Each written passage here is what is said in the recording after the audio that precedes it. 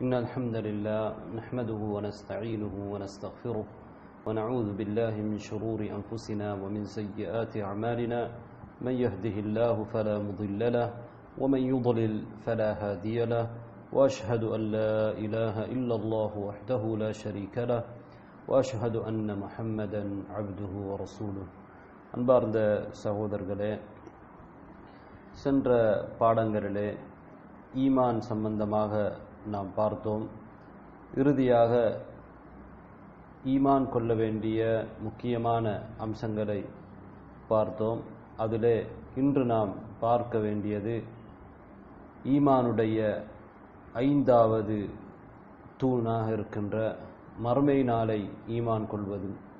அதை அடுத்து வரக்கூடிய தூணான கதா கதிரை ஈமான் கொள்வதும் சம்பந்தமாக பார்ப்போம். இதில் முதலாவது மறுமை நாளை அல்யோமில் ஆஹர் அல்யோமுல் ஆஹர். இறுதி நாளை ஈமான் கொள்ள வேண்டும்.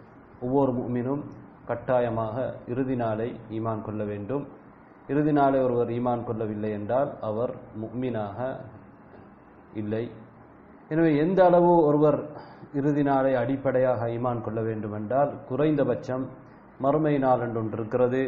அதில் நலவு செய்தவர்களுக்கு நட்கூலியும் கெடுதி செய்தவர்களுக்கு தண்டனையும் இருக்கிறது சுவர்க்கம் என்றொன்று இருக்கிறது அது நலவு செய்தவர்களுக்கு கிடைக்கக்கூடிய கூலி கெடுதி செய்தவர்களுக்கு நரகம் என்ற ஒன்று கூலியாக அல்லாஹு தாலா கொடுக்க இருக்கிறான் என்கின்ற இந்த அடிப்படை அளவை ஒருவர் தெரிந்து வைப்பது மிக முக்கியமானது. இது கூட ஒருவர் தெரியவில்லை என்றால் அவர் மூமினாக இருக்க முடியாது. மார்க்கத்தை அவர் புறக்கணித்தவராக மார்க்கத்தின் அடிப்படை கல்வியை புறக்கணித்தவராக கருதப்படுவார். மார்க்கத்தில் இருந்து வெளியேறியவராக கருதப்படுவார்.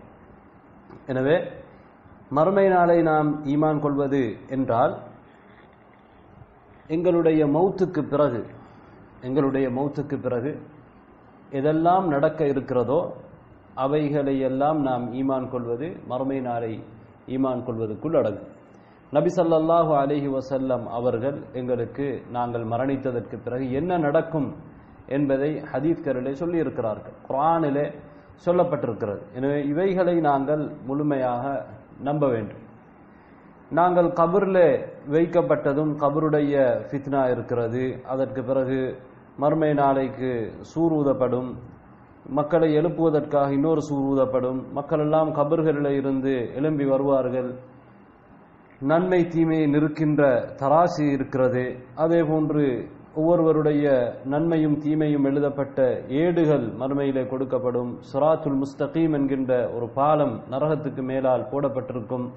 ஒரு அந்த பாலம் அதே போன்று ஹவுதுல் கௌசர் இருக்கிறது மறுமையிலே மஹர்லே நபிகள் நாயம் சல்லல்லாஹு அலஹி வசல்லம் அவர்கள் அதிலிருந்து நீர் புகட்டுவார்கள் அதே போன்று ஷஃபாத் இருக்கிறது சுவர்க்கம் நரகம் மூமீன்கள் அல்லாஹு தாலாவை பார்ப்பது இது போன்ற பல மறைவான விடயங்களை இஸ்லாம் எங்களுக்கு சொல்லியிருக்கிறது. இவை அனைத்தையும் நாங்கள் நம்புவது மறுமை நாளை ஈமான் கொள்வதற்குள் உள்ளடங்கும்.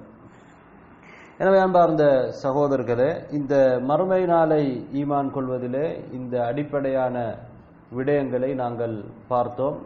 இன்னும் சற்று விரிவாக நாங்கள் பார்ப்பதாக இருந்தால் சில அறிஞர்கள் மறுமை நாளில் நடக்கக்கூடிய நிகழ்வுகளை அவர்கள் வரிசைப்படுத்தி இருக்கிறார்கள் எது முதலாவதாக நடக்க இருக்கிறது எது அதற்கு பிறகு நடக்க இருக்கிறது என்பதை வரிசைப்படுத்தியும் இருக்கிறார்கள். அதையும் நாங்கள் இன்ஷா அல்லா சுருக்கமாக பார்ப்போம்.